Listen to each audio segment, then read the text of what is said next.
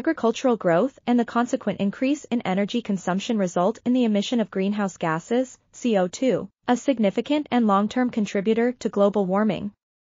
Although population growth is traditionally cited as a driver of CO2 emissions, this study demonstrates that its long-term effect is partially due to the effect of economic growth on CO2 emissions.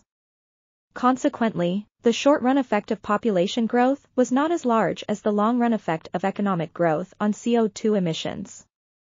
Therefore, population checking measures could be effective in the short run to lower the emissions level.